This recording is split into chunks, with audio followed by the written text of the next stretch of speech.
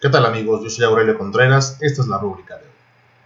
Sin temor a exagerar, este fin de semana será crucial para el futuro de la política, de las instituciones y del sistema de justicia del país entero.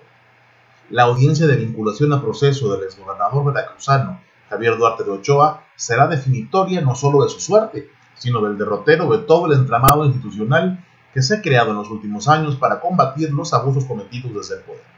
Como se ha señalado aquí y en muchos otros espacios periodísticos, la actuación de los representantes de la PGR durante la audiencia inicial ante el juez de control que lleva el caso dejó mucho que desear y abrió la puerta a la posibilidad de que, ante una acusación sin el debido soporte jurídico, endeble y a modo, el exgobernador evada la acción de la justicia y permanezcan impunes las atrocidades que cometió en contra del erario y, sobre todo, de la población de la entidad.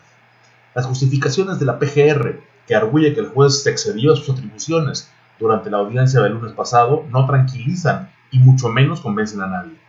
No por nada, hasta el actual gobernador de Veracruz, Miguel Ángel Yunes Linares, pidió al Ministerio Público Federal ser llamado a declarar en calidad de testigo contra Duarte de Ochoa para aportar las pruebas con las que cuenta y buscar con ello mantener preso a su antecesor, por si la PGR no tiene una causa sola.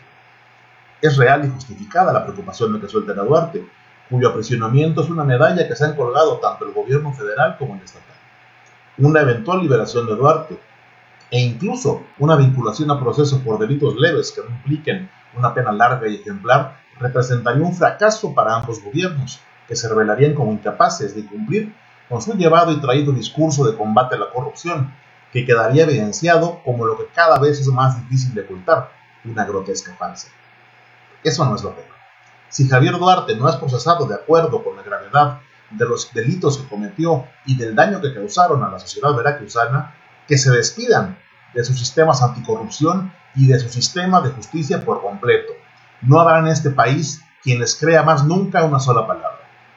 Porque si el sistema penal mexicano no puede o no es capaz de enjuiciar y someter a una verdadera acción de la justicia a alguien como el impresentable Javier Duarte, entonces ¿a quién? Hasta el próximo comentario.